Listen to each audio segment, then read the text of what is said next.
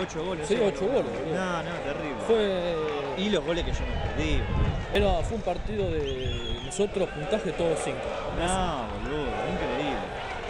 Y Tomasito todo esto metió dos, tres golazos, no se pueden creer. Y lo empuja. ¿eh? Qué mal que se comió, boludo.